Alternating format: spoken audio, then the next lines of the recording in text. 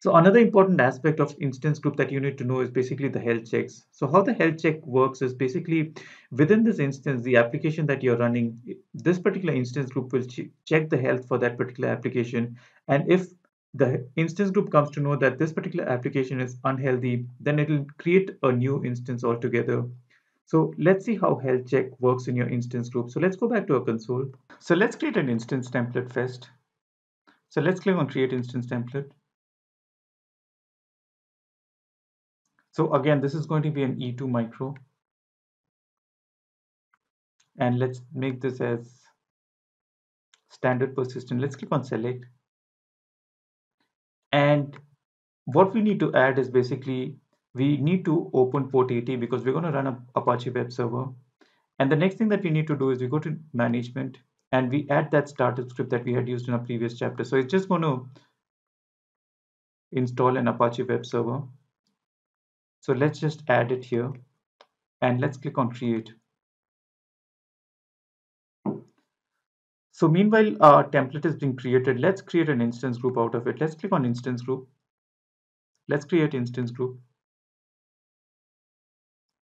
And let's add that same template. And here the important thing to note is basically, let's make the maximum number of instances is two. So here we need to add the health check. So let's click on create health check. Let's give a name for our health check. And this is how the health check works. So it'll ping the application, that is the Apache Web Server application every five seconds. And if in case it times out after five seconds, two consecutive times, then it's considered as unhealthy. If it doesn't twice, then that particular application is considered as healthy. So let's click on save. And let's create an instance group. So our instance has been created within our instance group. So let's open this instance group. And you can see that there is one instance in that and it has an external IP of 6084. So what we'll do is we'll shut down the Apache web server. Meanwhile, let's try to open this and let's see whether it works. So you can see that it actually opens the Apache web server and here it displays the instance name.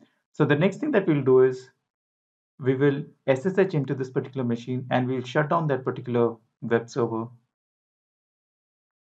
And I'll be using the service apache2 stop to shut down the Apache web server. So the web server has been shut down. So let's go back and see what happens in our instance group.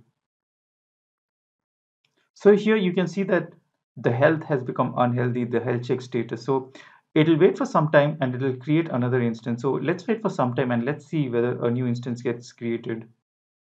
And now let's refresh this particular page after a few minutes. And you can see that a new instance has got created. And again, the health check goes back to healthy again. So let's try to open this again. And you can see that it returns a Apache web server page again. So that's how the health check works at the instance group level. So I hope this was a useful lecture. I will see you in the next.